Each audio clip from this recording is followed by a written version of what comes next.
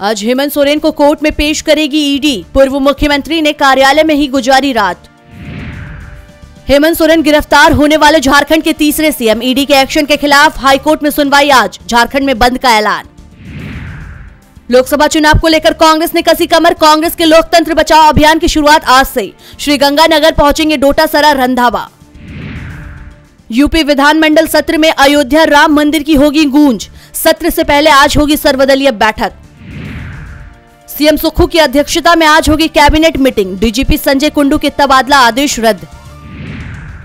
लोकसभा चुनाव को लेकर बड़ी बीजेपी की धड़कने। एमपी के सीएम मोहन यादव सात लाख युवाओं को देंगे रोज़गार पत्र। विधानसभा सत्र में 6 फरवरी को पेश होगा समान नागरिक संहिता विधेयक। लिव इन रिलेशनशिप को लेकर भी सख्त होगा कानून। नौकरी पेशा को मिलेगा टैक्स में छूट। वित्त मंत्री निर्मला सीतारमन बजट में कर सकती हैं कई बड़ी घोषणाएँ। बजट से पहले लोगों को लगा झटका, बढ़ गए सभी शहरों में एलपीजी सिलेंडर के दाम। कड़ाके की ठंड, भारी बारिश और तेज हवाओं ने बढ़ाई दिल्ली वालों की परेशानी। सड़कों पर जल जमाव से जगह जगह लग रहा जाम। ताइवान के आसपास मंडराए सात चीनी सैन्य विमान और चार नौसैनिक जहाज़, बढ़ सकता है तनाव।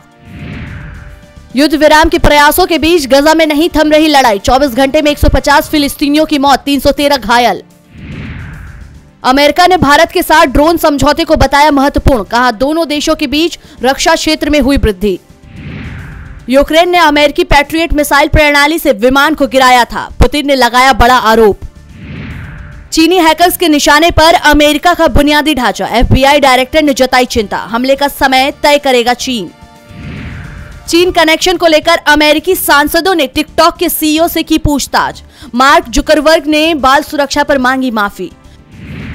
फेडरल रिज़र्व की दरों में कोई बदलाव नहीं। ब्याज रेट में कटौती की उम्मीद लगाए निवेशकों को झटका। बजट से पहले सरकार को खुशखबरी जीएसटी कलेक्शन में ज़बरदस्त इजाफा। बुलेट ट्रेन की स्पीड से दौड़ेगा रेलवे सेक्टर कुल बजट में 25 फ़ीसदी की रिकॉर्ड बढ़ोतरी संभव। अयोध्या जाने वालों के लिए गुड न्यूज़ आज से आठ नई फ्लाइट्स का संचालन करेगा स्पाइसजेट सीधे शुरू होगी सर्विस